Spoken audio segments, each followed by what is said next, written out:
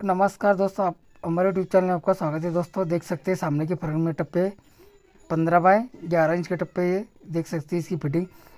दोस्तों, इसकी दो बाय चार की राइजर फिटिंग किया है और साइड में दो बाय चार की ब्लैक राइजर फिटिंग किया है। साइड से दोनों तरफ़ से देख सकते हैं। अभी देख सकते हैं इसके साफ़ करने के बाद में कैसा लुक आता है। दोस्तों, हमारे चैनल पे नए हैं तो लाइक और सब्सक्राइबर कर सकते हैं कमेंट भी कर सकते हैं दोस्तों। धन्यवाद।